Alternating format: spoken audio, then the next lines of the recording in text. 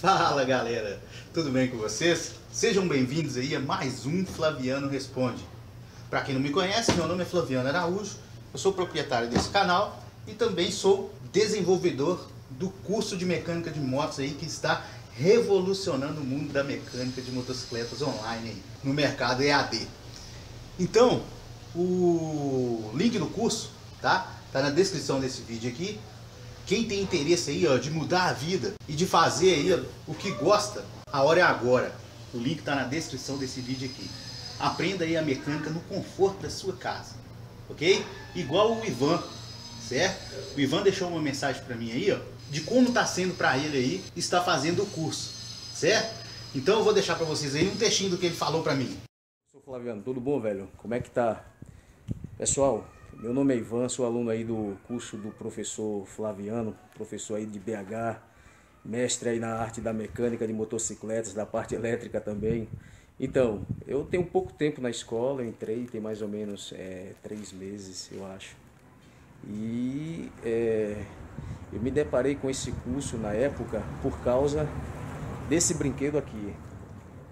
É o meu xodó, eu é, como a gente diz, é moto é, uma, é, uma, é um estilo de vida. Então eu, eu, eu tô com esse, esse brinquedo aqui e tava com uma série de problemas, velho, na parte da mecânica, parte elétrica e com dificuldade de resolver os problemas. Aí certo dia me deparei com um dos cursos do professor, melhor, com um dos vídeos do professor aí na internet.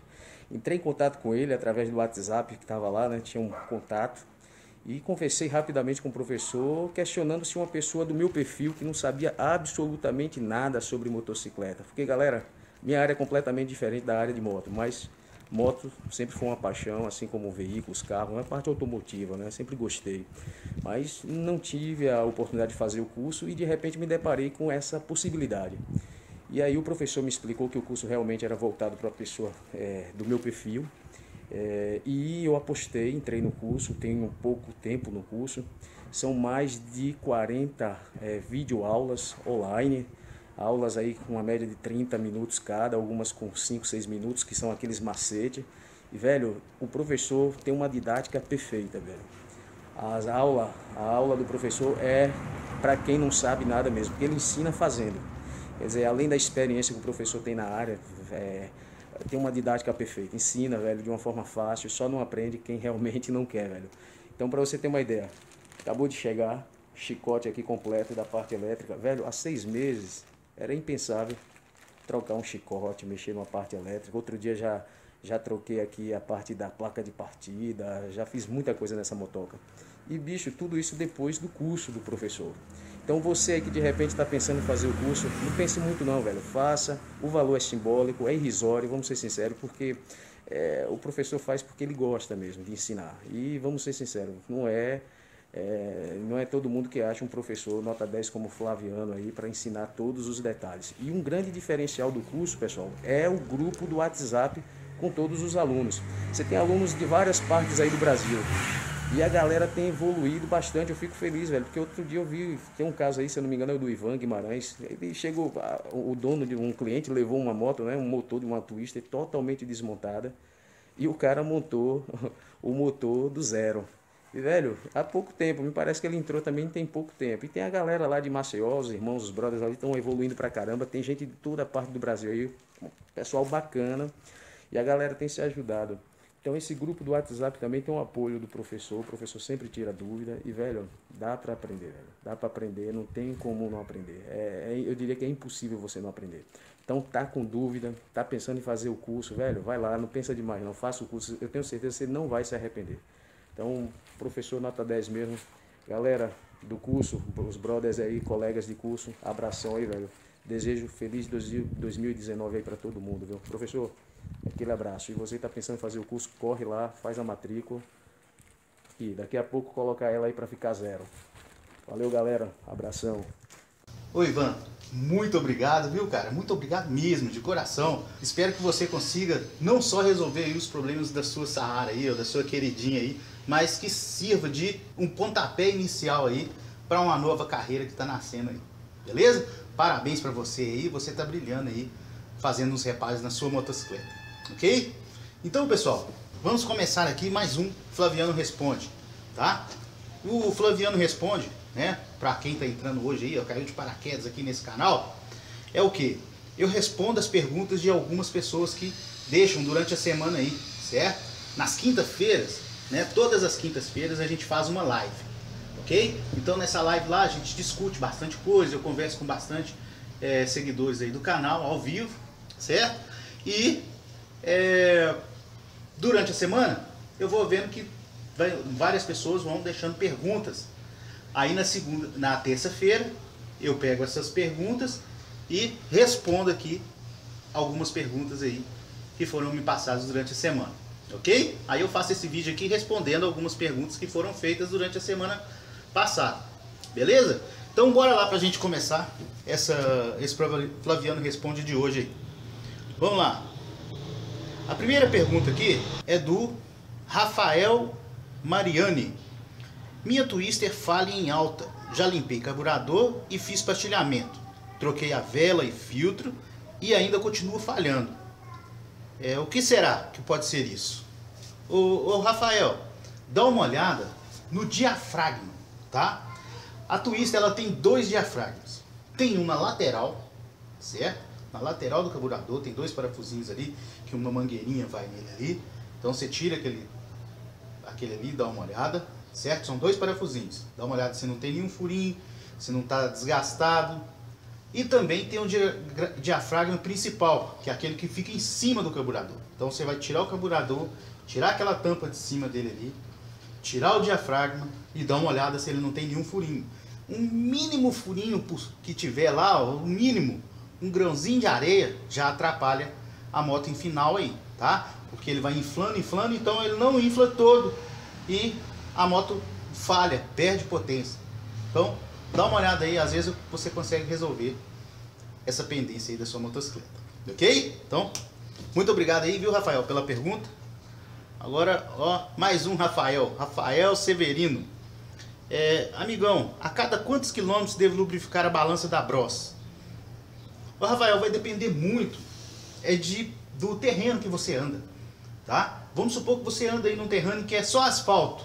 Todo lugar que você vai é só asfalto, limpinho, não tem tanta sujeira. Você pode fazer a, a lubrificação aí, ó, bem periódica, de seis em seis meses, fazer uma lubrificação caprichada aí nessa, nessa balança, né? Na balança, no ProLink ali. Então, é, de seis em seis meses você pode fazer. Agora, se é uma moto que anda muito em terra, estrada de chão, pega muita poeira, tá? Aí tem que ser bem reduzida essa lubrificação, tá? Por quê? Porque você vai ter que tirar aquela terra, su aquela sujeira, barro, né? Ali, aquela poeira. Então aí você pode reduzir para de dois em dois meses você fazer uma lubrificação para ficar filé e você não ter dor de cabeça com, com essa suspensão. Beleza?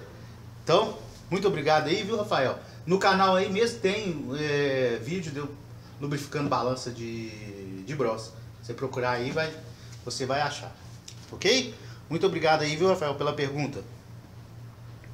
É, agora aqui é o Coruja Z. Coruja Z, muito bom o vídeo, porém tem uma dúvida. 90% das vezes é estator, mas se não fosse ele, o que poderia ser? Existe algum teste específico para estator?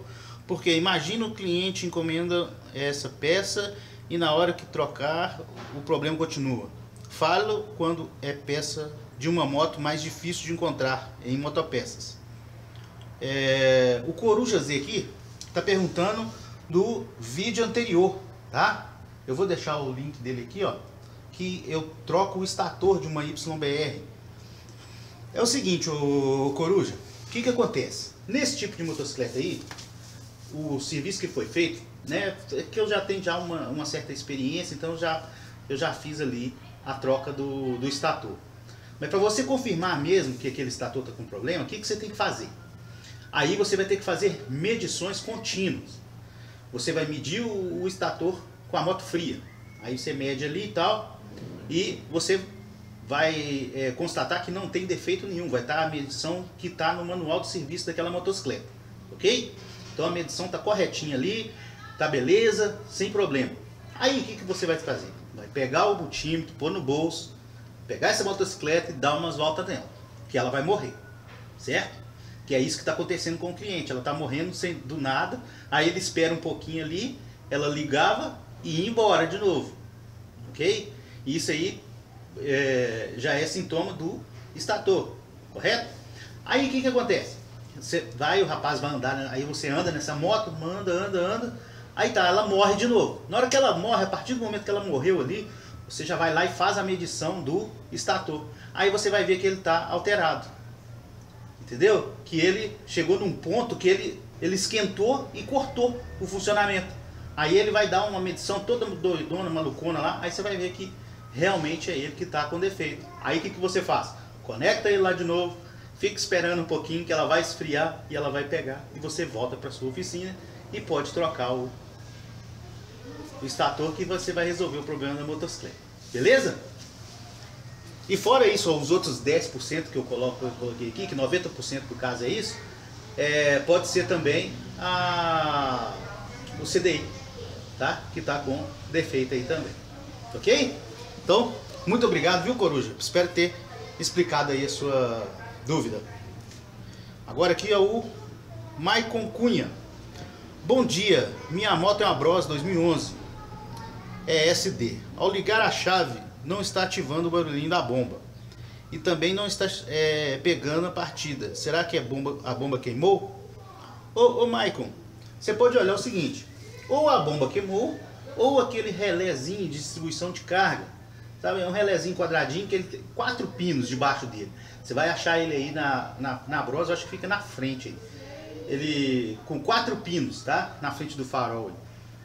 É, ele pode ter queimado também, tá? Mas aí você faz o seguinte, retira a bomba e faz o teste, tá? Retira a bomba com cuidado que ela vai estar tá cheia de combustível, tá? Você vai fazer esse teste uma vez só.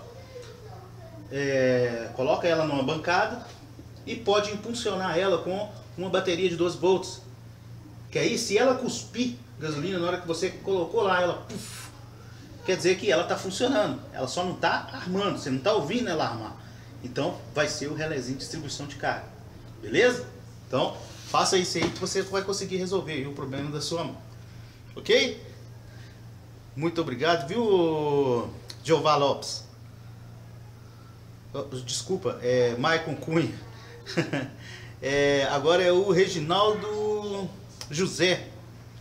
É, boa noite, Flaviano. O cabeçote e as válvulas muito sujas pode causar falha na moto em alta? Ô, Reginaldo, não só falha, como também a aceleração intermitente, aquela aceleração que, vamos supor, você liga a motocicleta, aí ela fica na lenta belezinha ali. Aí, de uma hora para outra, a moto você nem tá perto dela, lá ela tá lá, ela. Entendeu? Ela dá aquela acelerada do nada ali e volta de novo no, do, na lenta dela normal. Isso também é indício aí de cabeçote muito carbonizado, muito sujo. É bom para abrir e resolver isso aí. Beleza? Espero ter te ajudado aí. Viu, Reginaldo? Agora, Jeová Lopes. É, Flaviano, sou de Fortaleza, Ceará. É, me tira uma dúvida. O mecânico disse que, é, que para colocar o pistão e os anéis na camisa é preciso de uma cinta para empurrar os anéis para dentro. E o pistão e os anéis e a camisa são novos. Ô, ô Jeová, é o seguinte: tem essa ferramenta? Tem sim, tá? Tem sim. Você é uma abraçadeira que você abraça o pistão. Né? Deixa eu ver se eu tenho um pistão aqui. Tem.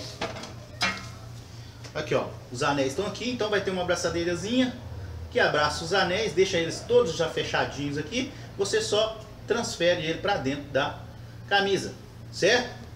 Isso eu, eu, vejo muito em motos de grandes cilindradas, que é maior, cada quanto maior o pistão, mais difícil vai ser você fechar os anéis. Então tem essa ferramenta para esse. Um, um pistãozinho desse aqui, ó, você consegue colocar ele dentro da camisa sem precisar de cinta né? Então aqui, ó, tem a camisa aqui. Olha lá, ó. Aqui o que, que acontece? O, você pode ir empurrando com, com uma, uma lâmina, tá? Eu uso muito ali na minha oficina ali, uma lâmina de serra, que eu fiz uma faquinha fininha, que me ajuda aí nessa situação. Olhem só, aqui ó, coloquei já o pistão dentro da camisa aqui, sem estragar a camisa, né? Tanto é que eu usei até um, aqui foi uma régua de plástico, quanto que uma régua de plástico vai estragar aço, né? Então, dá para colocar sem essa cinta, tá? Se você tiver a cinta, tudo bem, pode colocar lá, fica um serviço mais profissional, mais bacana, mas dá para colocar sem, ok? Então, obrigado aí, viu, Jeová? Espero ter te ajudado aí. Agora a pergunta é do Alex Souza. É com quantos quilômetros a moto apresenta sintomas de problemas de escova no motor de arranque? Alex, é o seguinte, é difícil você precisar quantos quilômetros aí vai acontecer isso. Sabe por quê? Vamos supor, um, um motoboy desses aí de, de que entrega lanche para aplicativo, certo? Ele pega a moto dele lá na porta daquela da lanchonete que ele tá lá, liga ela, pega o lanche, leva lá na casa do cliente, para lá na porta da casa do cliente, desliga a moto, entrega o lanche, liga a moto de novo, aí outro lugar chama ele, ele vai lá nesse lugar, entendeu? Então ele liga a moto dele, numa noite aí, ele deve ligar essa moto aí umas 30, 40 vezes, numa noite, certo? E uma pessoa que pega a motocicleta de manhã, liga ela, vai até o serviço, para a moto lá na porta do serviço dele, trabalha de 8 às 18, depois pega a moto, liga ela, volta, encosta em casa, tum, e vai descansar para trabalhar no outro dia. Essa moto dá quatro partidas durante é, 24 horas. Então, como que você vai medir a quilometragem do, da, da escova de arranque? Não tem jeito, entendeu? Então, a escova de arranque você vai ter que ir usando e você vai sentir os sintomas de defeito quando ela começa a dar as primeiras falhas. Vamos supor, você aperta o botão, a, o motor dá uma girada, depois liga a moto de uma vez. Aí sim, é um sintoma que a escova já está acabando, tá? Então, não tem como você precisar aí quanto tempo que vai durar uma escova de arranque. Vai depender muito do uso, porque você, a escova só é usada a partir do momento que você apertou o botãozinho ali, ela faz o serviço dela e pronto, ela não trabalha mais, né? Então, espero ter respondido a sua pergunta aí. Somente quando ela apresentar mesmo aquele desgaste aí que você vai saber. Ela está acabando, mas não tem como você trocá-la preventivamente. Ok? É, agora é do William. É, tem que acertar o carburação quando põe escapamento esportivo? Ô William, tem muita moto que sim, tá? Tem muita moto que você vai pôr um carburador, que, um, um escapamento esportivo, o que, que vai acontecer? Ele vai abrir mais, então ele vai é, ficar mais livre, tá? Então, se você quer uma moto mais esportiva, que ela é, fique mais é, ligeira, né, mais esperta, você vai ter que alimentar mais esse motor. Então, se você deixou sair mais ar, você vai ter que deixar entrar mais ar e gasolina aí também. Beleza? Então é bom sempre dar uma reguladinha no carburador quando põe um escapamento esportivo aí. Ok? Espero ter te ajudado aí. Aí aqui, gente, é, é uma situação que aconteceu nessa semana aí, tá? Eu vi dois inscritos conversando sobre um tema que eu achei interessante. Eles falaram, foi no último Flaviano Responde, é, é Ulisses, Ulisses do Teclado, não, não, Ulisses dos Teclados e o Bruno 55262. Eles estavam conversando sobre peças ramp e peças originais, né? O Ulisses ele deixou uma mensagem falando que pessoal tomar cuidado e tal, que a ramp não é original e que não ficar comprando gato por lebre. Aí o Bruno foi e perguntou ele sobre, mas a ramp é vendida na Honda, como que não é original? Aí o, o, o, Ulisses deu uma explicação bacana. Ele falou assim que, né, que é a, é a mais pura verdade. Aqui no mercado brasileiro, tá? O, a Honda, né? Vamos supor, a Honda, né? Não, não é a, a Honda original lá do Japão. Ela é, criou uma empresa que fabrica ferramentas, é, fabrica peças, tá? Que são vendidas dentro da Honda, mas não são originais Honda. É uma empresa, né, igual a Ramp, ela vende peças, tá? Dentro dos padrões brasileiros que são homologadas pela Honda. Então, ela pode usar lá, ela pode vender essas peças, mas só que essas peças não são originais Honda, tá? Tanto é que você for comprar o kit relação, né, vamos pôr um kit relação de uma Titan 150. Se você for comprar ela ramp, é um preço. Agora, se você for comprar ela original mesmo, fala assim, eu quero a que sai de fábrica. É 3, 4 vezes mais caro do que a ramp. Por quê? Porque vai ser a original Honda, tá? Que vem do Japão lá para eles montarem a as motocicletas. Ok? Então, é... eu achei legal a conversa entre os dois lá e queria ter passar para vocês aí, para vocês ficarem por dentro também. Ok? Agora chegamos ao fim aí, certo? E eu vou agora agradecer aqui aos inscritos que deixam as mensagens aí de apoio, né? Que é o Paulo DJ Manrim, é, parabéns, Flaviano. Muito bom vídeo, bem instrutivo, muito bem explicado. Valeu. Muito obrigado, viu, Paulo, pelo carinho aí. É, Wilton Júnior Silva, você tá de parabéns, meu amigo. Sou Wilton do Ceará. Grande abraço aí, viu, Wilton? Valeu aí pela, pela mensagem. É, Marisa Prado, parabéns. Explicação muito bem feita. Ótimo vídeo. Fora a simplicidade e o carisma mineiro, que eu acho maravilhoso. Muito obrigado aí, tá? Pela, pelo carinho aí e pela mensagem que você enviou, tá? Então, pessoal, por hoje eu me despeço de vocês, tá? Continue aí seguindo, vamos dar um joinha aí agora, que é bom para fortalecer o canal aí, tá? Se inscreva no canal se não é inscrito. Todo sábado tem dicas bacanas aí de motocicletas aí, direto lá dentro da minha oficina. Quinta-feira a gente vem aqui conversar ao vivo, né, nas lives de quinta aí, das 9 às 10, tá? E toda terça-feira eu venho aqui com o Flaviano Responde para tentar ajudar cada vez mais vocês aí, que sempre me prestigiam nesse canal. Beleza? Então um grande abraço a todos aí e até o próximo vídeo. Valeu!